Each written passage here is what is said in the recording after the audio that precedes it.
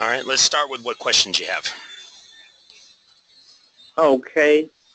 Now, I have just a, uh, uh, uh, like I said, I have two companies that are dormant, and um, one is Veterans Housing LLC, and the other one is um, Citizens Assets Returns hmm LLC.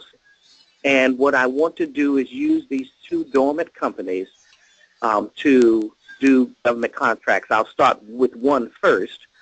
And um, and what do I need to do? I'm I'm an African American, so I, I know I can register, uh, get some some of these certificates here. But um, the 8A is going to have to wait after for a year for that one. Um, but um, I can do a, a minority one, um, a certificate. Um, I'd have to call the local people here in Richmond to find out how to um, register with that situation. But um, other than that, um, my thing is if I am those nice, nice NAICS codes, if you sign up with a NAICS code for one thing, and it, I guess it doesn't matter if you bid on other things that have that are not listed under your NAICS codes. You can. You don't have to have an axe code listed for everything that you bid on. Okay, that's what I was under. I was under the wrong impression then. Okay. Yeah, that's that's a misunderstanding. Some purchasing agents think that you do, but you don't. That's actually a uh, incorrect. Uh, matter of fact, it's it's such a common incorrect problem. I actually have a signature in my email uh, with the link to the article because it's it's comes up that that uh, frequently. Uh, let's see here. Where is it? NAICS. Okay, so I'm not the only one asking this then. Okay. Correct. Uh, there's a link in on my article regarding this. So anytime a purchasing agent tells you that you have to have a NAICS code listed in your SAM in order to bid on or be awarded or get paid on an opportunity, that is incorrect. And uh, Okay. I know for a fact because one of my clients a couple of years ago uh, won a contract and one of his competitors did a bid protest and submitted a bid protest to the GAO. And this is the actual This is the article I wrote regarding it, and this is the actual letter that the GAO responded to his bid protest and said his bid protest was denied. Because you Okay, don't have okay. to have NAICS codes listed in SAM or in FBO in order to bid on or be awarded or get paid on a contract. Now, if you ever have a contractor that says that you do, a purchasing agent that says that you do, um, and they're they're telling you that you have to, go ahead and email me and we'll add it temporarily and then I will follow up with the purchasing agent and I will show them that they are in fact incorrect. I Gotcha. don't want Gotcha. you arguing Okay. with them and, and creating a bad relationship. I will be the bad guy. That is um that is just fine, just fine. Um, um because because when I was looking at the uh, TV guy, I was like, well, this guy just does TVs and he's bidding on jet fuel and stuff, and that has nothing to do with televisions and stuff like that. So it must not be where you have to do that. Yeah, he's not jet fuel guy. He's he's TV guy. Right. And So uh, he, doesn't matter what codes you have listed. It doesn't matter the name of your company. Uh, it doesn't matter that you work out of your home. You're a one-man show. I mean, I, I'm sure there are some situations where federal purchasing agents will take that uh, and use that against you, but they're not supposed to. So, gotcha. you know, in the long run, in the grand scheme of things, you're better off having a real business and uh, multiple employees and, and, you know, having a business name that's directed towards what you're doing. And you're better off um, having a cap statement that's specific to each NAICS code. I mean, there are things that you're going to do that are going to benefit you that, um, you know, but they're not supposed to use those things against you. So in the beginning, it's no big deal. In the beginning, we work with what we got. After you win a contract and make some money, then we'll be more specific and, and you can, you know, start other companies that have specific names geared towards each category. And you can run them as Okay. sister companies so you can still use your past performance. Okay, great. Now the the the cap statements uh, capabilities. Um, I remember watching your videos to talk about that it's IES on the end, not Y. So, um, um, do, do I, I submit that with each um, contract, with each with each bid? You only submit with the bid what the federal purchasing agents are asking you to do. Following the instructions in a bid is extremely important. And more people Okay. lose opportunities not because of their price, but because they didn't follow instructions. Okay, and do you help me? Do you assist me with making sure I've filled it out correctly? Of course, of course, I'm going to teach you everything I know. Okay. You might have heard me talk great. about a video because I provide proposal writing services too. Uh, when I first got into doing proposals, I didn't write them. I referred people to proposal writers because I didn't Mhm. like I had enough experience to, to write proposals. And I used to uh, refer people to uh, one specific proposal writer, uh, and he put together a proposal for a client of mine for a nuclear power plant, It was a couple of billion dollars, and he lost. They lost the the bid. We did a bid protest and uh, not a bid protest. We did a debriefing, and the purchasing agent told us sent an email saying. Uh, we, my client was his first choice. He would have hired my client, but my client made a, a minor amateur, basic amateur mistake. And that's they forgot to include the bid bond along with the proposal, with the bid. Well, the client bought the bid bond. They gave it to the proposal writer. He failed to attach it. Oh, okay. So they Okay, lost a got- contract worth billions over the fact that they didn't follow the instructions. Or not that they didn't follow the instructions, the proposal writer that I referred them to didn't follow the instructions. Okay. Which So came back on me, making me look bad because I referred them. So from that point forward, I stopped referring people to other proposal writers and I learned to write proposals. Okay, gotcha, gotcha. So, In fact, I wrote one last year that was just awarded. It's over $100 million. wow, that's not bad. No, not at all. And that's just one. Um, let me do this for you. Let me send you this email. Do I have to have a, a proposal with each bid? I mean, is that how it works? Every bid is different. So we're going to work on each bid individually. Right? you. Once you So- do a few of so them, you I- get comfortable. You know, once you do a few and you get comfortable, it's going to get a lot easier. And every time you submit a bid, you're creating templates for future bids down the road. Okay. So if I find something on Fed Bid Ops, um, before I submit anything, I contact you to let you know what I'm getting ready to do? When, when we get you registered, you're going to start getting opportunities to bid on automatically. When you find ones that you want to work on, you're going to email me the link and we're going to work on them together. Is that the simplified acquisition situation? Simplified, simplified acquisitions are a type of purchase that the government makes. It's where they can buy from you without putting it out for bid. Uh, they don't have to collect the rule of two. They don't have to collect two bids anymore. They can hire you with only one offer received. And, uh, Okay. and they tend to prepay on those. Okay, I'll give you a prime example.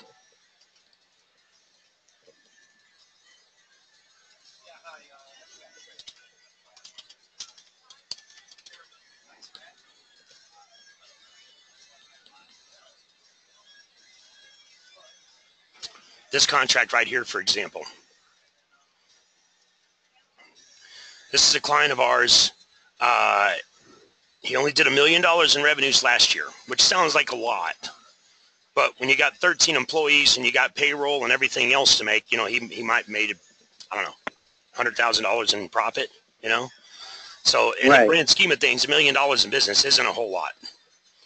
It's nice to be able to brag and say you did a million, you know, but um, he's a better known small business, right? They did this as a simplified acquisition. See that right there? Yes. It was a sole source for a service disabled veteran. Look at how many offers received. One. Now, you ready for this? He only did a million dollars in revenues last year, right? Right. The government awarded him a $1 billion contract with a B. Oh, you got to be kidding me. No, I'm not. They paid him $750,000 up front. He's going to collect 3.13 million over, I don't know if they're going to be paying a monthly or, or quarterly or whatever. I'd have to do the math. Probably monthly. 750,000 wow. of 1 billion is 0.075, so that would be probably for the bid bond. That would be the cost of the bid bond, which they paid him up front, so he had the money to afford the bid bond. Got you. All right. And this, wow. Okay. that's one that, you know, I just taught the vendor. He, he submitted the bid himself. I didn't actually write that one for him. He did it. I just taught him how and helped him with it. Um, here's one.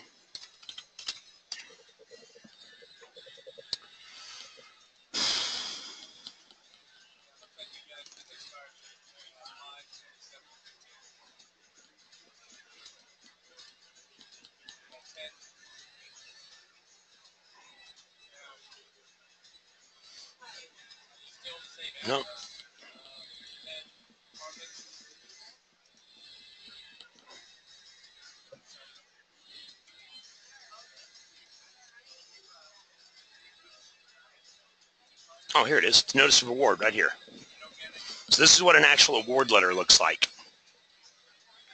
These guys won this contract. Uh, this is one that they paid me to write the proposal on. Actually, last year. It took them six months to award this, but it's a $100 million contract. So right. they, they don't typically award larger contracts like that just immediately, unless it's a, a purchase for FEMA or something like that. They need it quickly.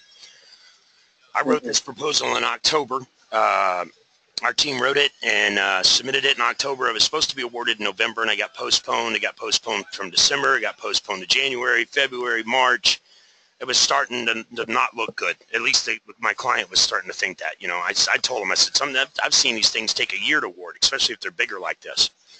Uh, right. About 20 days ago, he had a phone call from the purchasing agent asking him if his prices were still good because they typically only hold pricing for 30 days or 60 days. And he told the purchasing agent, yeah, the pricing's still good. And then he called me and he said, hey, a purchasing agent called me and asked me if the prices are good. And I said, congratulations, you won it. He goes, what do you mean? You won the bid. If he's going to call you and ask you if your pricing's still good, he's not going to do that for the heck of it. You know, right. he's not going to waste his time. And he's not going to call everybody and ask them if they're if he chooses you, he's going to want to know if your pricing's still good because it's past the 30 or the 60 day mark. That means you won it. And he goes, well, we'll see. I don't want to put on, you know, get get my hopes up. And here it is. It was awarded. Yep, it says congratulations. Yep. Yeah. This is a yeah, so, so how much $25 million contract for year for five years. Okay. I and this is what's called an IDIQ, which stands for indefinite delivery indefinite quantity, which means they're going to guesstimate how many orders they're going to make, but they always, always underguesstimate.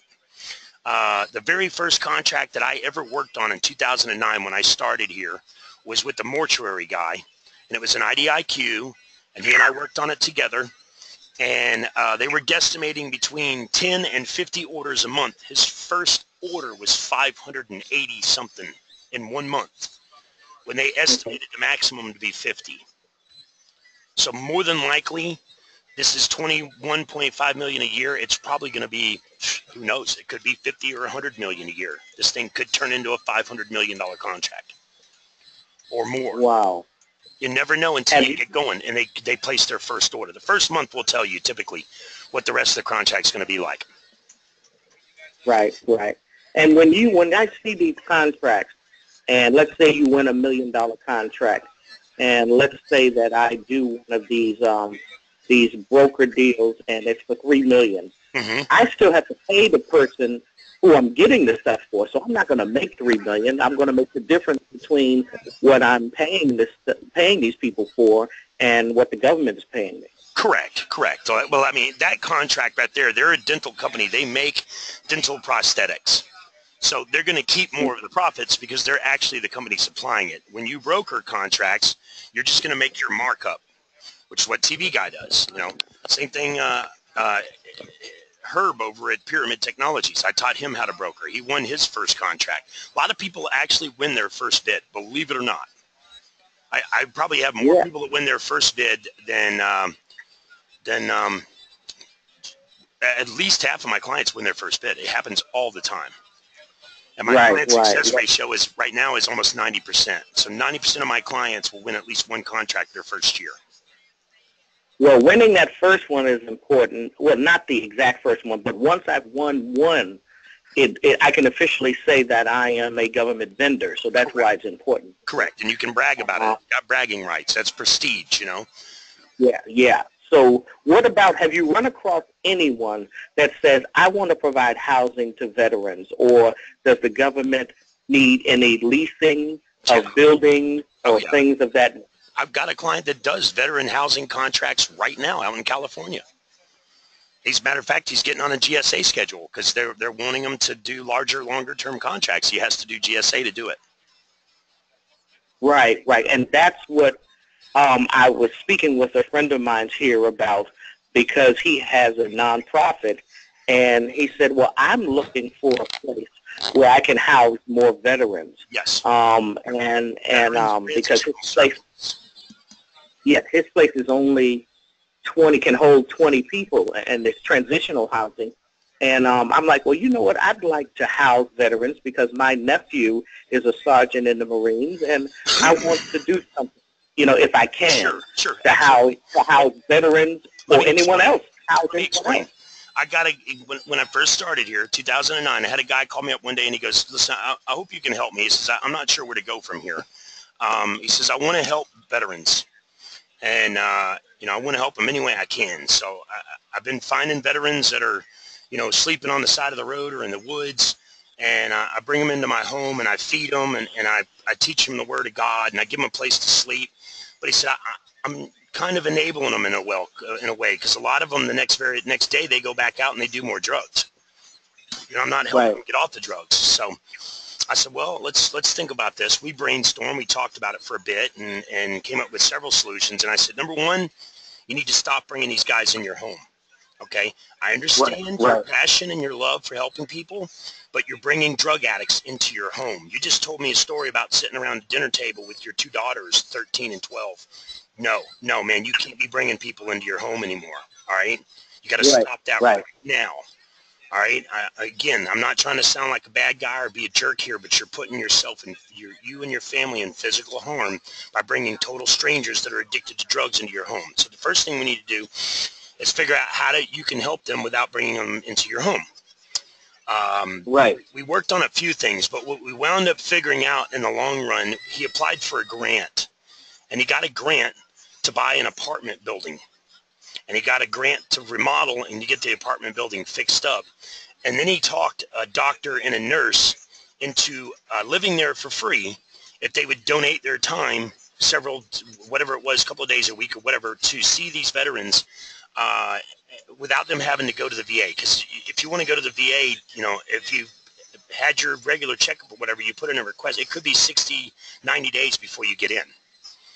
I had one Mhm. veteran. Um, he was sleeping behind a, a, a grocery store, and uh, I happened to find him one morning, and he was all beat up and bloody. And and uh, I asked him if he was okay, and he, he could barely talk. Uh, he said he, you know, he's a veteran and he's he's homeless. And these punks came through last night and found him sleeping in a box, and, and they beat him up. They kicked him, and kicked him, and punched him, and hit him with with wood uh, sticks, and, and you know, they they hit him so hard in the face that his false teeth came out. They stole his false teeth. He said, "You have no Gee. idea. It's going to take me two to three months to get an appointment at the VA to see a dentist, and then it'll take him nine months to make a new set of teeth." He goes, "I now have to go for an entire year without teeth because of this." So this Yeah, guy, yeah, the back.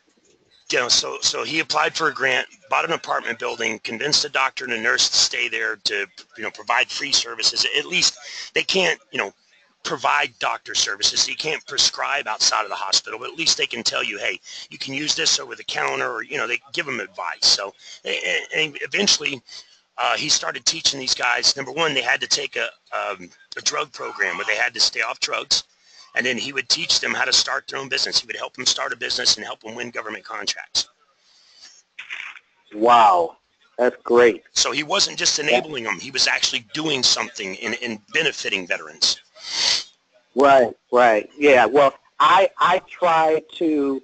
Um, I saw on FedBid FedBizOpps uh, a couple of weeks ago about providing housing here in the Richmond area. hmm And I called the purchasing guy down in, in Norfolk, and he said, well, this one is not just for housing. I couldn't get it anyway because I didn't have my SAM or anything. I wasn't set up, but I was curious. So I called him, and he said, we prefer this to be part of an overall situation where the person is providing uh, health services or rehab and stuff like that. Right. So I said, okay, well, there's nothing I can do because all I really want to do is house them. And um, so I let it go, but it was just interesting to t- actually talk to an actual purchasing guy down there to see.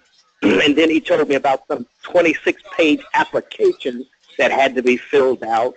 And I'm like, holy crap. you know, it just seems like so much you got to do just to put a bid in for something.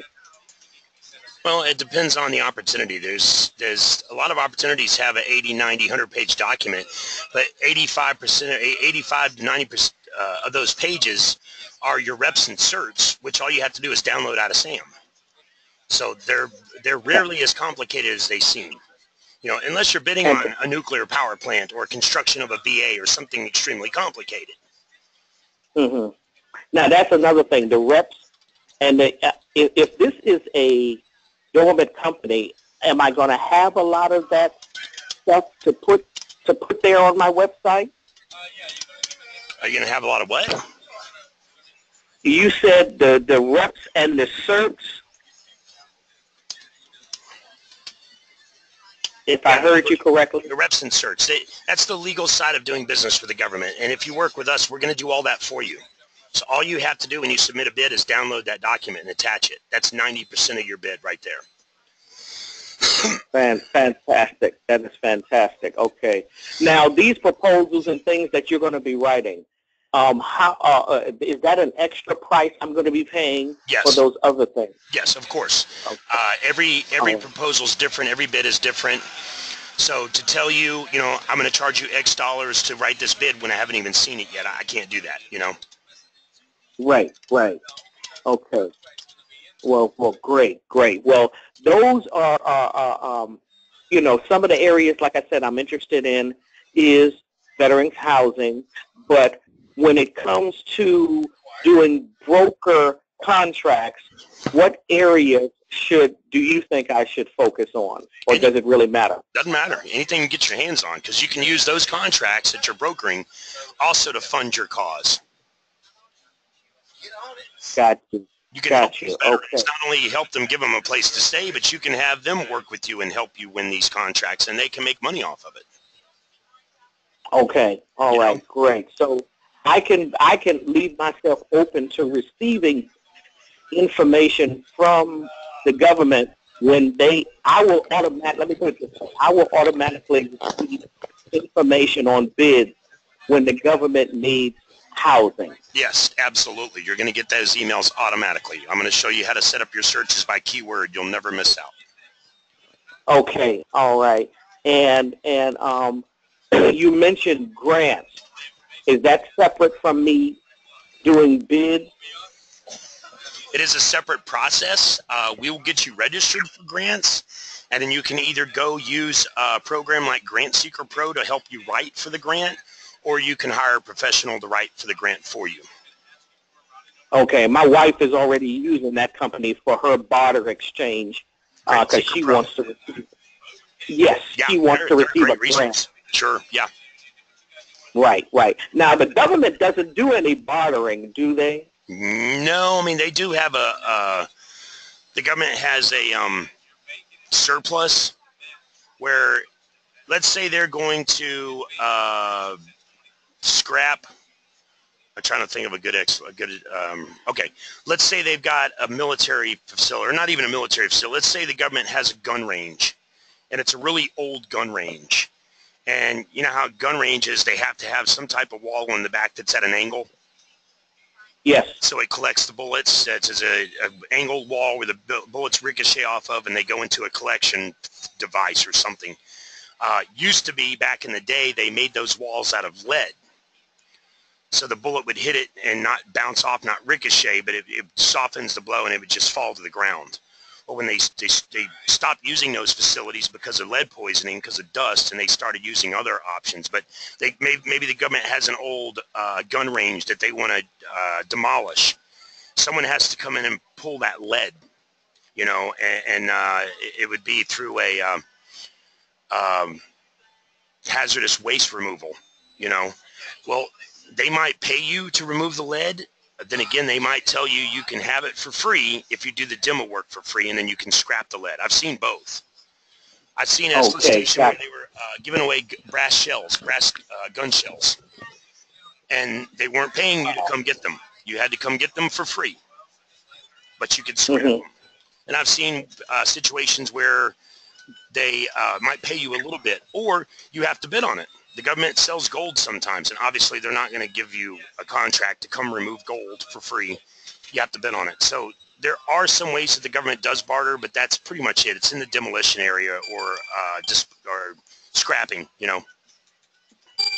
Okay, now I've been reading. I've been reading quite a bit recently about the government not having enough parts for the aircraft. Um, is there a way where I can help in that area? To do what? To supply them with the parts that they need for these grounded aircraft.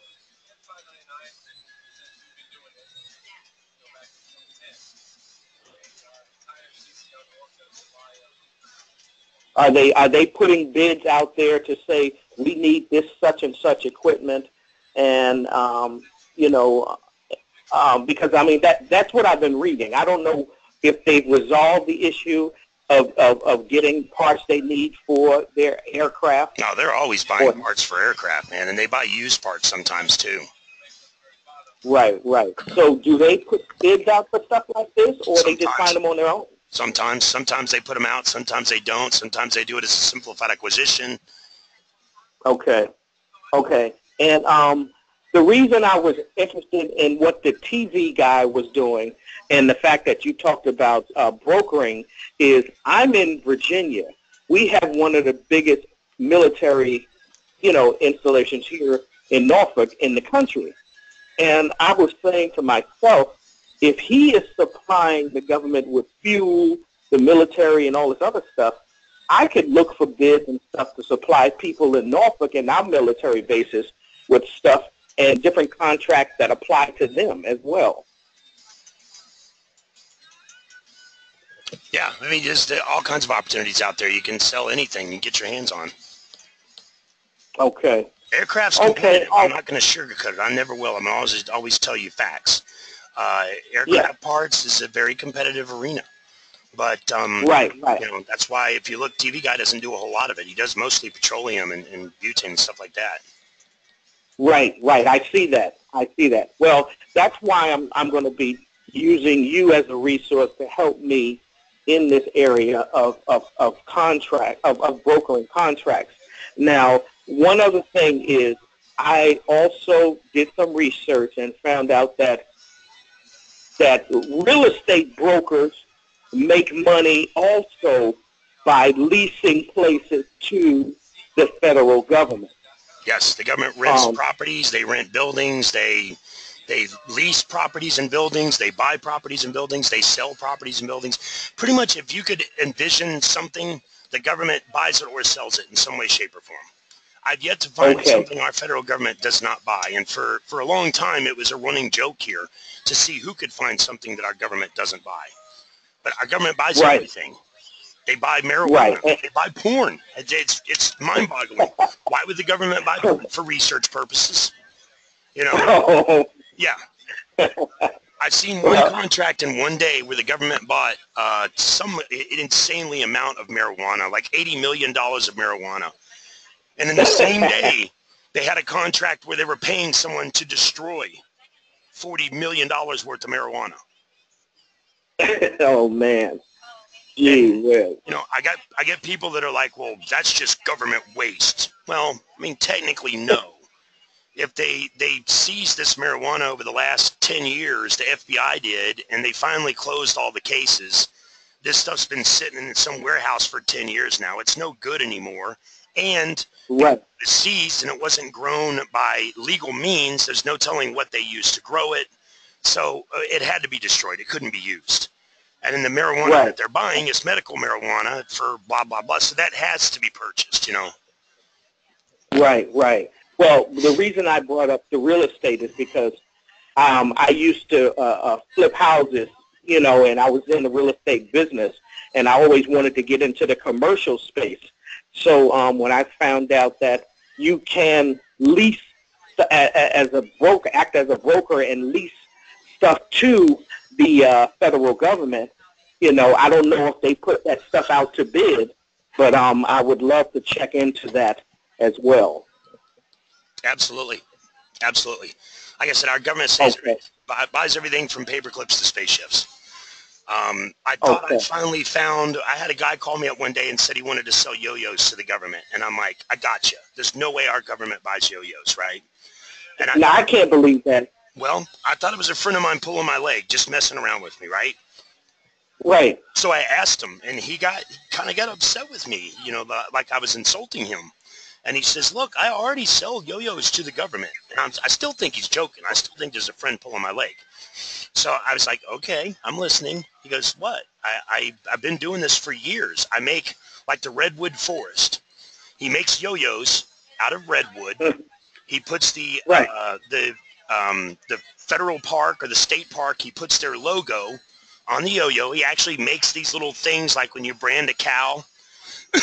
Right. You know, he makes these things you heat up in a fire and he burns the, the logo of the state, the, the forest, the, the state park or federal park onto the yo-yo. And he sells those to the park and they resell them in their gift shop. Well, that makes perfect sense. You know, when he said he wanted to sell yo-yos to the government, I'm thinking, for who? Congress?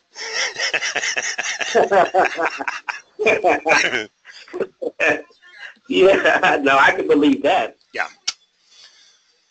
But um, okay. All right. So I guess um, what I need to know about is pricing, and I need to get some ideas about what I'm interested in as far as my, my plan of attack here, as far as the type of things that I want to. Um, how, how long does it take to get approved for the simple, simplified acquisition?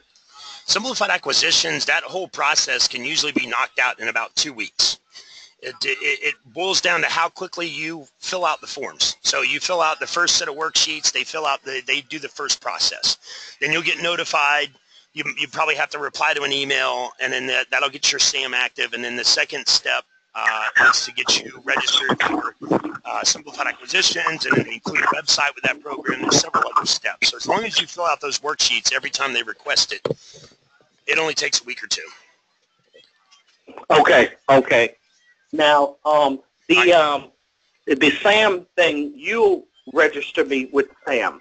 Even if you've already done your SAM, we're going to go back in and redo it because there's no sense you and I investing our time putting bids together and then you submit a bid and don't win it and you go in and request a debriefing and the purchasing agent says, well, I would have awarded it to you, but you weren't compliant in SAM to begin with.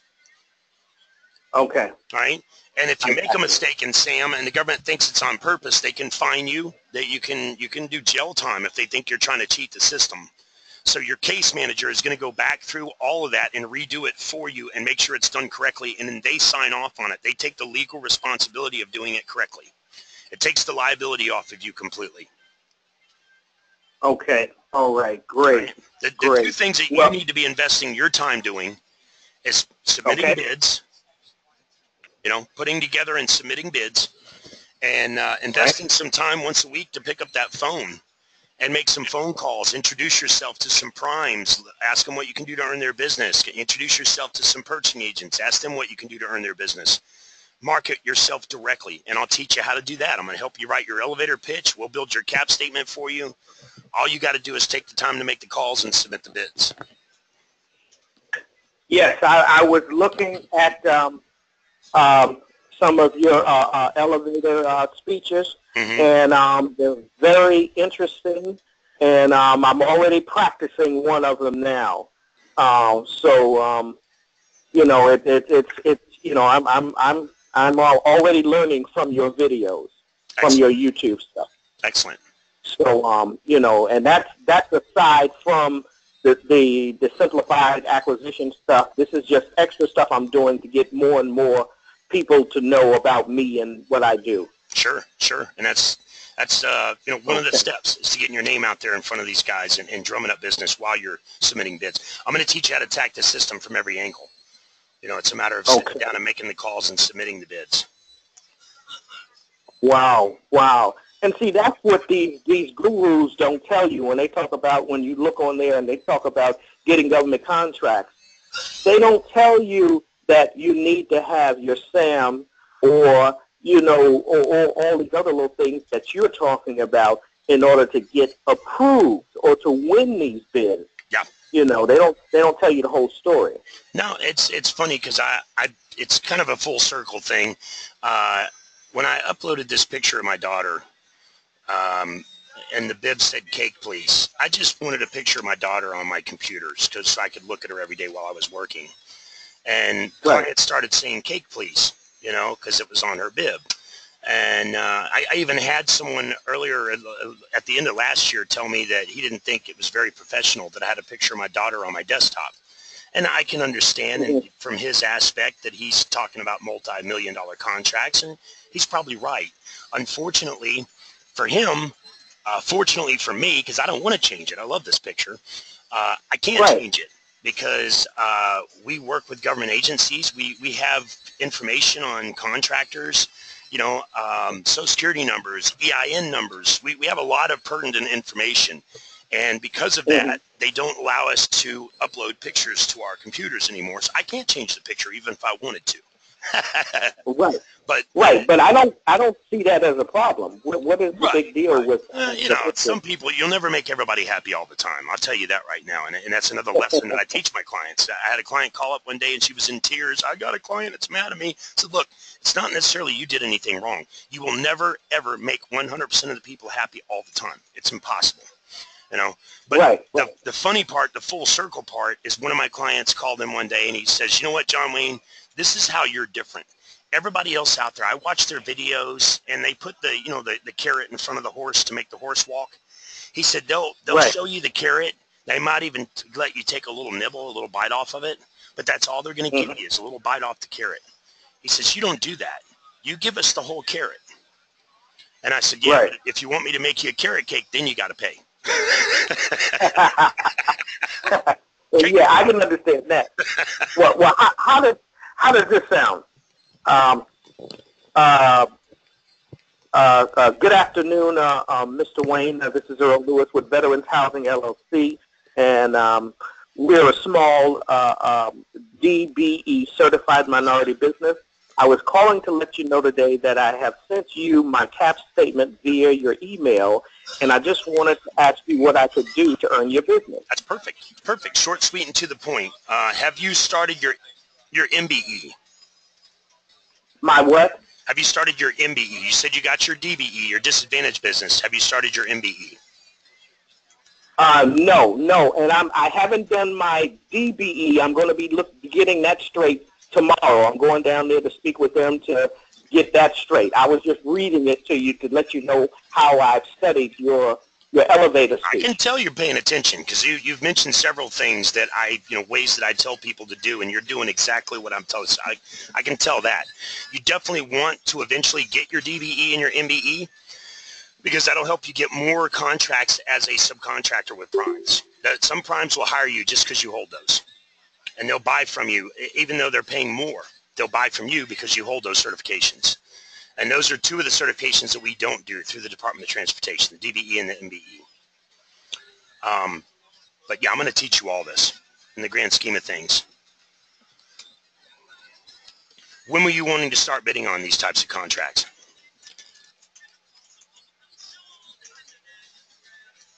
Did I lose you? Can you hear me now? Earl, if you can hear me, I can't hear you at all. Looks like you're still in a meeting, but you might have lost signal or something like that. Let me make a note up here in case you can't hear me.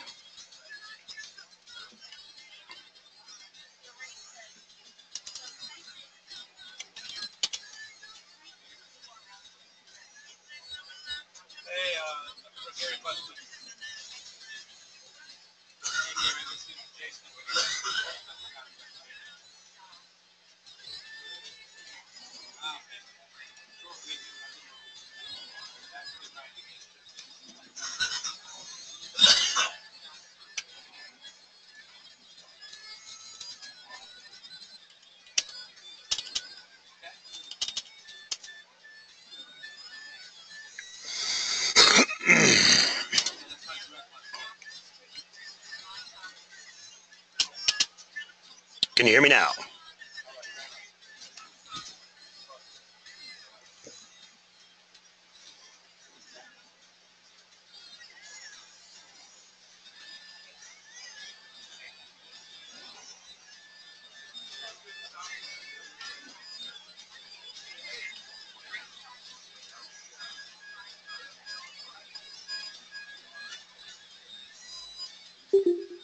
There you are. Can you hear me okay?